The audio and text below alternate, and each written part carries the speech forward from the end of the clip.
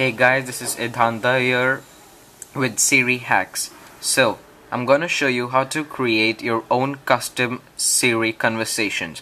First of all, you will have to SSH into your iPhone. Then, in library, you would go to root and then again root, you would like to go to library. In library, you will see assistant extensions. There, you like to open AIML in the AIML you will see all these AIML files. These are all the Siri conversations that are there on your phone. So let me show you one. Let me import how about this one. Biography. Open. There you see. This is a simple XML type so you can refer one of them to create your own. So I have one created so let me open that. Siri hacks. You'll have to type in the XML code AIML category pattern and then your question.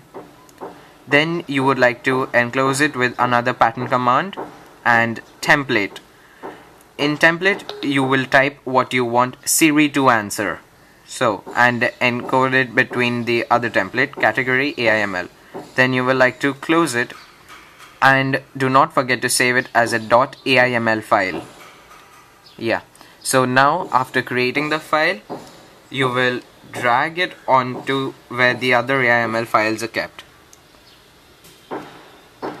Let me open it. And there I drag it me. Search for it. Okay here. You see sirihacks.aiml now this is done. Now let's head over to Siri.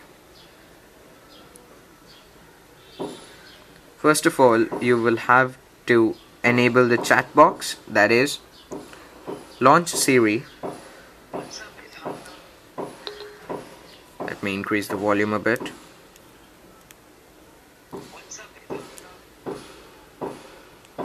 Yeah, now let's start Siri. What's up, Idhanta? Let's chat. Yep, just a moment please until I load my brain. And you'll have to wait while Siri does that.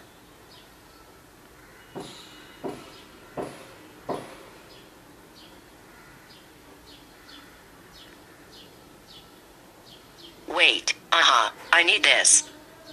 She finds her file.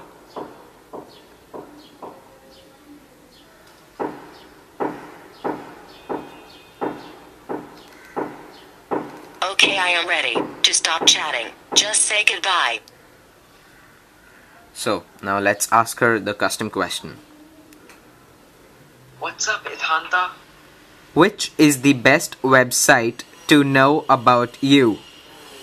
Uh, Alright, Hanta, you don't even know this much. It's Siri Hacks. So, there you see. This is how you create a custom Siri conversation.